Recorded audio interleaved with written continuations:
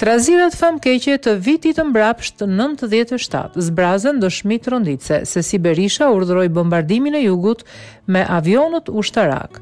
Konfirmimi i Berishës president provokoi agravimin e tensioneve. Kishte nisur grabitja masive e armëve nëpër depo, rrugët ishin nën pushtetin e bandave.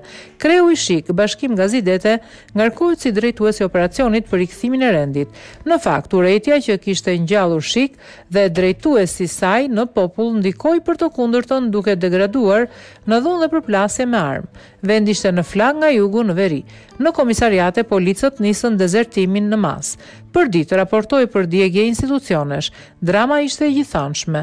Vetë Berisha do të deklaronte vite më vonë se ishte pikërisht ai që lejoi hapjen e depove me pretendimin se këtë e bëri që populli të vetëmbrohej. Në fakt, ndodhi krejt e kundërta. Bilanci ishte rreth tre mijë e tetëqind viktima dhe pesë mijë të plagosur në gjendje anarkie.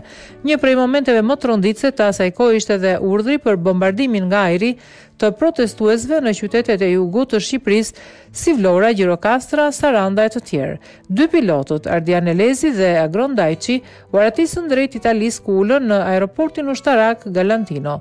Dëshmitë e tyre ishin vërtet tronditëse. Pilotët në atë kohë deklaruan se u urdhëruan të bombardonin civilët në jug. Kishim urdhër të qëllonim autokolonën me njerëz. Kush guxonte në atë kohë të jepte urdhra që një avion ushtarak të bombardonte në Gjirokastër apo të jepte urdhra që të hidhej gaz helmues, e kush do të guxonte përveç Berishës, është shprehur Fatos Klosi, ish shef i SHIK.